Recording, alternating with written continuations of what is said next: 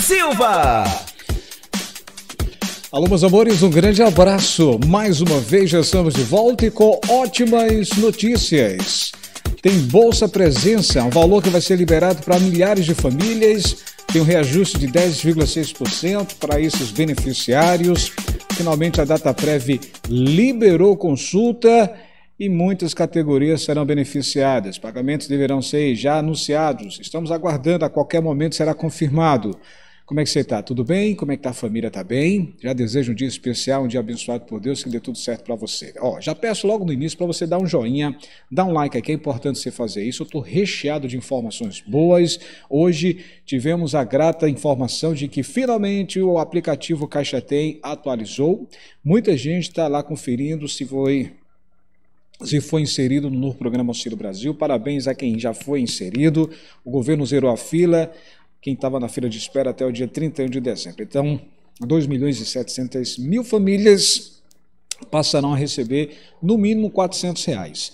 Os atuais 14,7 milhões terão a companhia agradável de 2 milhões e 700 mil novas famílias, tá?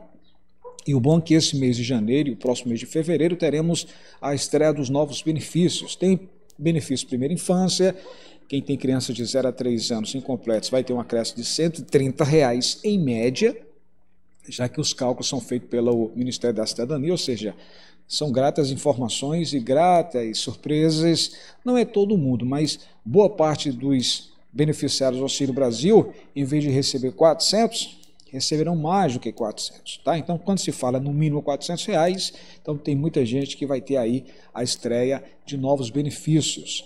Tem aquele o, benefício primeira infância de 130 reais, o benefício da criança, da criança cidadã, que paga aí um benefício para as famílias que não têm creche. Aí tem duas situações, creche parcial, creche integral, 200 reais, 300 reais para quem no caso, para creche integral, 200 reais para creche parcial. Tem os novos alunos, os jovens adolescentes que estão se destacando nos esportes e também se destacando nos estudos, já terão aí o pagamento de 100 reais, serão 12 parcelas de 100 reais, totalizando 1.200 reais durante todo esse ano. E esses jovens adolescentes que se destacarem, além de ganhar a primeira parcela de 100, terão mais 11 parcelas, será o todo 12, e essas famílias terão aí uma cota a mais de mil reais, cota única. Ou seja, tem muita coisa boa que vai começar agora, os novos benefícios, segundo o Ministério da Cidadania, e em fevereiro outros benefícios também serão incorporados. Ou seja, no mínimo você vai receber 400 reais, mas tem famílias que vai ter a grata surpresa de receber mais do que 400 reais. Isso é muito bom, tá? Você já deu joinha? Já deu like aqui? Faz isso. Dá essa moralzinha, você que gosta do nosso trabalho, você que aprecia as nossas informações, dê esse like agora, porque aí o YouTube vai entender que o nosso vídeo é bom e vai recomendar para mais pessoas para receber essas informações. Faz isso agora, tá? Porque se a gente deixar para depois, termina esquecendo. Dá esse joinha, desse like aqui. Desse outro lado aqui é para você se inscrever. Eu venho observando que muita gente está nos acompanhando, mas ainda não é inscrito. Então, se inscreve aqui no nosso canal. Tá vendo aqui o nome inscrever, se destacado em vermelho? Clica nele fazendo isso vai aparecer um sininho. Nesse sininho você clica em todas as notificações. Para quê? Quando tiver vídeo novo, o próprio YouTube irá avisar você. Fez isso? Estou confiando em você. Seja bem-vindo aqui ao nosso canal, canal Campeão. Eu tenho informações maravilhosas. Vamos à primeira informação, informação muito boa, por sinal, e lógico, é uma ajuda que vai reforçar o bolso de muita gente. O auxílio de 150 reais é repassado às famílias do CAD único. O repasse é realizado para as famílias de estudantes da rede estadual de ensino que estejam no CAD único. Atenção, hein? Começou ontem, dia 10 de janeiro, segunda-feira, o novo crédito do programa Bolsa Presença, esse novo auxílio, que destina auxílio de 150 reais por mês para as famílias dos estudantes da rede estadual de ensino, cadastradas no CAD único em condições de vulnerabilidade socioeconômica. A saber, essa foi a nona parcela do programa, que com a iniciativa atende 370 mil famílias e mais 420 mil estudantes com recursos que chegaram até o momento por volta de 390 milhões de reais. Onde é isso, Alex? Nesse caso é o governo do estado da Bahia. Atenção, povo baiano, povo que está passando por esses problemas enchentes, muita gente aí, inclusive, passando por situação difícil. Prefeitura de Itabuna, eu lembro que está aí com o cartão magnético que vai dar 3 mil reais, serão milhares de famílias. Essas famílias serão selecionadas, vão receber um cartão magnético de 3 mil reais, vão poder fazer compras no mercado durante dois meses. O cartão vai ter uma validade de dois meses. 3 mil reais, parabéns aí ao prefeito de Itabuna, inclusive ele já falou junto com o governador que vai construir cerca de 11 mil casas.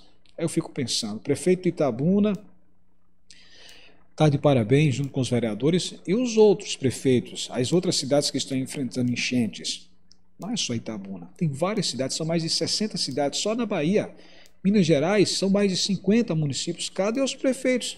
Deveriam seguir o conselho, pelo menos esse exemplo aí do prefeito Itabuna. Olha aí, o prefeito Itabuna vai dar cartão magnético de 3 mil reais.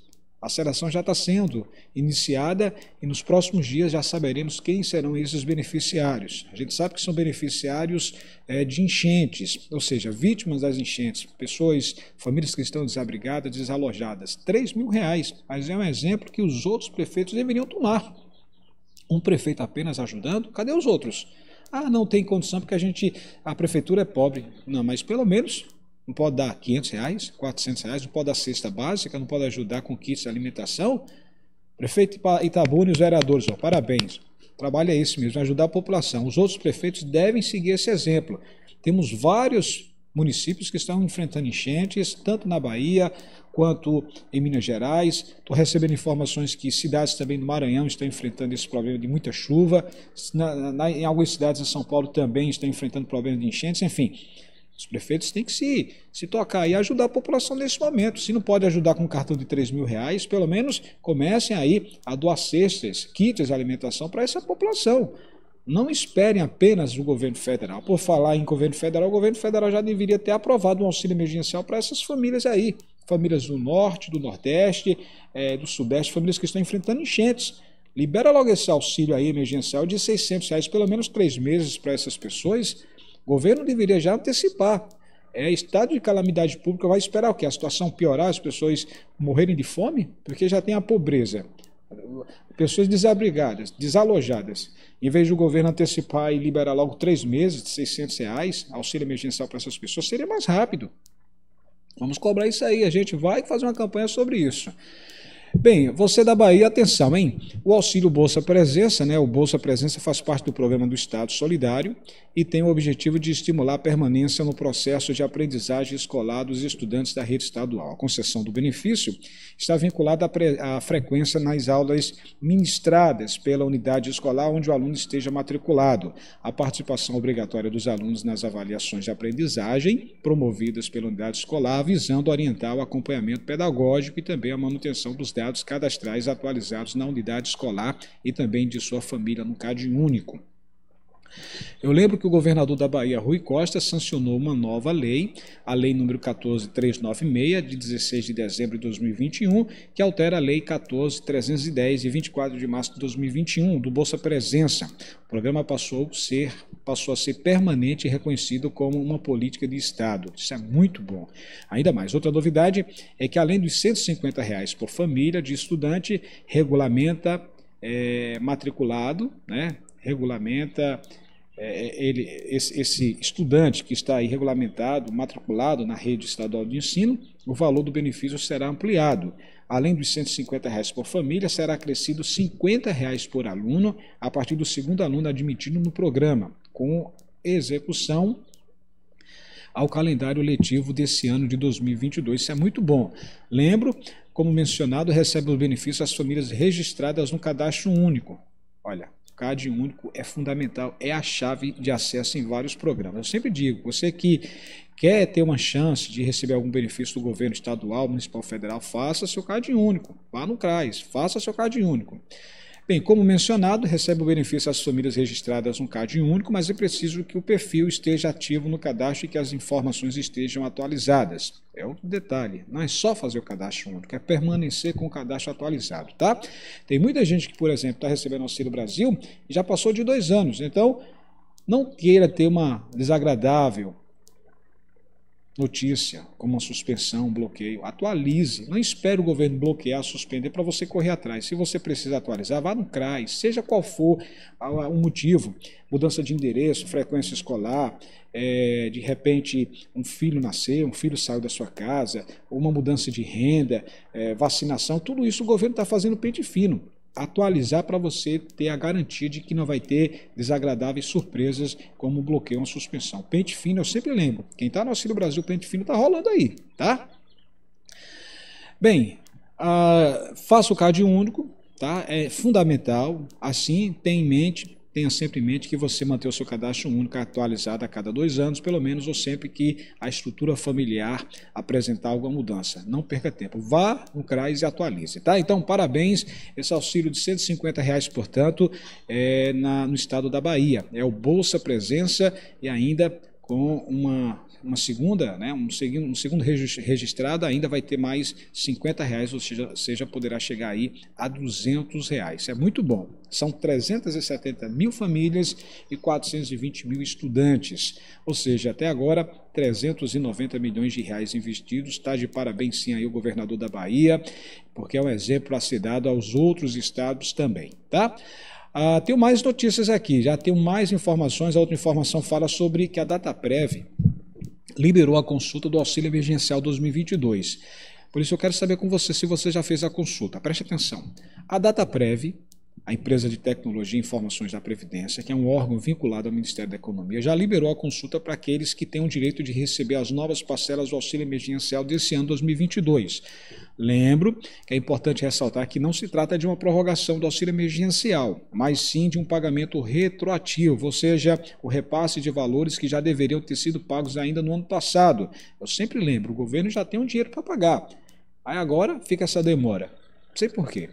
O grupo que terá o direito de receber o valor extra a ser pago em breve é aquele que inclui os pais solteiros que são chefes de família. Nesse caso, em específico, esse grupo vai receber a diferença dos valores de parcelas que deveriam ter sido pagas em dobro no ano passado. Aliás, no ano de 2020, os pagamentos serão realizados pelo que a gente está está acompanhando, em duas cotas. Isso é lamentável. Dividir o valor em duas cotas não dá. 3 mil reais paga logo tudo, o governo já tem o um dinheiro, já foi liberado 4 bilhões e 100 milhões. Espero que o governo repense essa questão de liberação. Se fosse para conseguir o dinheiro para pagar, tudo bem. Mas o dinheiro já está pronto, disponível. 4 bilhões e 100 milhões de reais, paga logo. O bom era pagar logo agora em janeiro, não esperar ainda para fevereiro ou março. Eu sei porque o governo às vezes complica, né? Portanto, se você se encaixa nesse grupo de pais solteiros que criam seus filhos de modo monoparental, é importante fazer a consulta do auxílio emergencial no DataPrev, para então descobrir se terá o direito de receber o valor adicional do benefício, tá? Para ter acesso às informações da DataPrev, o beneficiário pode consultar pelo número do seu CPF e assim saber se foi aprovado para receber aí a nova parcela a partir é, dos próximos dias, ou próximos meses. O site que essa consulta deve ser feita é esse aqui, ó. Dá uma olhadinha no teu celular, no teu notebook. Eu vou deixar inclusive no final desse vídeo o link para você conferir. Esse aqui é o site Consulta Auxílio. Tá vendo aqui? Site Consulta Auxílio, tá? Você coloca CPF, nome completo, nome da mãe, mãe desconhecida, data de nascimento, sou humano, enviar e vai aparecer. Você que é pai-chefe, se você for selecionado, você estará nessa lista. Eu lembro que o governo ainda não colocou todos os beneficiários, mas uma parte já está bem encaminhada. Por quê? Porque o governo está fazendo aquele famoso pente fino, selecionando esses pais-chefes. Então, talvez alguns pais não consigam é, ter essa informação agora se foi aprovado ou não, porque o governo ainda está investigando, está passando um pente fino. Mas uma boa parte dos pais já poderão receber, ou melhor, já poderão confirmar se vão ter direito ou não, tá? Eu lembro, os pais-chefes em 2020, que tinha pelo menos um filho de menor, que receberam cinco parcelas de 600, deveriam ter recebido cinco parcelas de 1.200, e que ninguém da família pediu o, a cota dupla, ou seja, não pediu aí para receber. Também tem esse detalhe. Pais-chefes que alguém da família conseguiu receber a cota dupla, infelizmente serão agora, não terão direito a receber. Tá? Então, são vários detalhes, várias regras que o governo está observando isso. Espero que você receba. Eu lembro que, é, que será 1 milhão 283 mil pais chefes que terão direito a receber 3 mil reais. Eu espero que o governo pague o mais rápido possível. Não demore tanto para divulgar esse calendário. O dinheiro já tem, se a questão é selecionar os beneficiários, tudo bem que a demora é muita, são muitos os pais que serão selecionados, mas já tem o dinheiro, evite dividir cota dupla, pagar um mês depois de outro, paga logo tudo, já tem dinheiro, tá? Então é bom a gente acompanhar isso de perto. Olha, que você falou outra informação também, já falei aqui da DataPrev, liberou a consulta, o Bolsa Presença e também falei sobre a, a, a atualização do, CAD, do, do, do Caixa Tem, né? Para você descobrir se você já entrou nesse programa para receber o Auxílio Brasil. Atualizado hoje, o Caixa Tem. Mas eu lembro, quem não conseguir ver se o seu nome está selecionado ou não pelo aplicativo Caixa Tem, que às vezes dá sempre uma zebra, tem gente que não consegue, vai no CRAS. Vai no CRAS, chega no CRAS lá, apresenta o documento pergunta, ó, oh, quero saber se eu fui selecionado, se eu fui selecionada, se eu vou receber o Auxílio Brasil agora. E as pessoas do os funcionários lá do CRAS vão confirmar isso para você, tá? Eles têm todas as listas, os nomes de todos que estão na cidade para ter direito. Eu espero que você esteja nessa lista. Independente se você estiver ou não, caso a notícia não seja boa, espera, porque o governo não vai parar em 17 milhões. A gente está acompanhando, o governo quer bater 20 milhões, ou seja, mês, mês, mês, mês, fevereiro, março, abril, novos beneficiários o governo deverá colocar. Tá bom? O bom é que o governo zerou essa fila até dezembro de 2021. Os novos beneficiários agora, que estão fazendo o cadastro único, já estão fazendo outra fila de espera, mas aí o governo deverá colocar esses novos beneficiários mês sim, a cada mês, é, para receber os 400 reais. Será muito bom.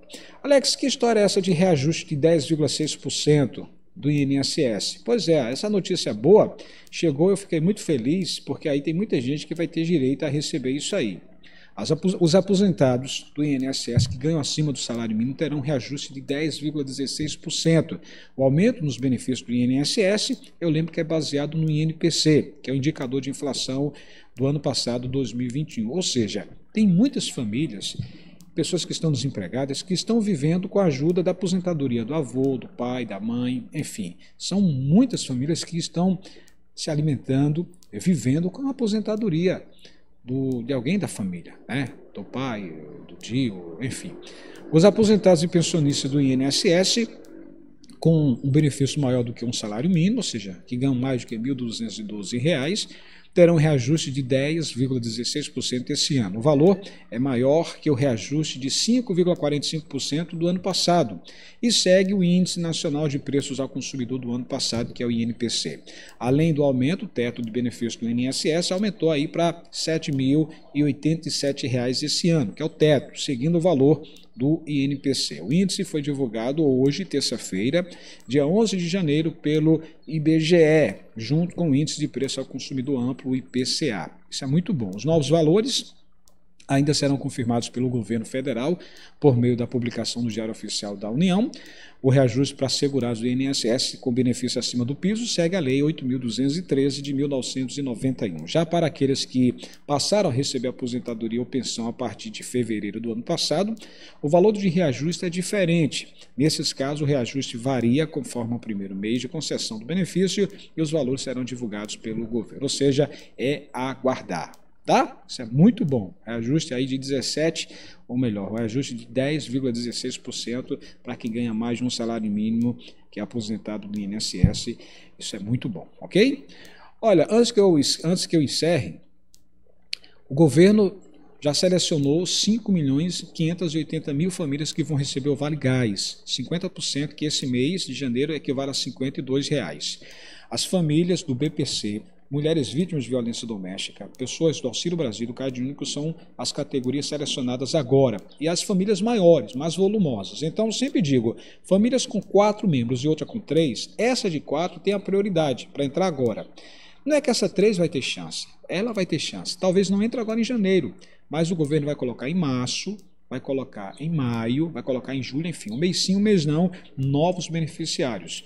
Lembro sempre, Começa com 5 milhões 580 mil famílias agora em janeiro, mas esse número deve chegar a 19 milhões até setembro de 2023, ou seja, mês sim, mês não, novos beneficiários serão inseridos. Então, não fique triste.